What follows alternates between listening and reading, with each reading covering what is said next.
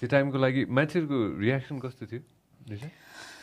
Honestly people were not that interested like अब यो क्रिटिक्सहरूको सर्कलमा हामी अब युएस एमबिसीमा गएर पनि फिल्म दे इन्भाइटेड अस होइन we were invited to all sorts of place because it carried an issue which was a taboo is still is a taboo नेपालमा होइन अनि त्यस्तो चाहिँ भयो। हामीले जुन चाहिँ रेकग्निसन पाउनुपर्ने त्यो लेभलमा एउटा लेभल अप भएर क्या नेपाली फिल्म इन्डस्ट्री मात्र होइन यस्तो फिल्म पनि बन्न सक्छ। अनि त्यहाँमाथि पनि यस्तो आर्टिस्टिकली ब्युटिफुल नेपालको आर्ट एन्ड कल्चर एन्ड भ्यालुलाई बोकेको फिल्म इस्युलाई बोकेको फिल्म भनेर त्यो रेकग्निसन चाहिँ हामीले भरपुर पायौँ।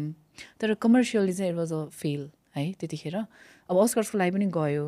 अनि कस्तो भयो भने अस्कर्स जित्यो भने त नेपालले जित्ने हो नि त त्यो म्युजियममा जान्छ रिजनल्समा चाहिँ।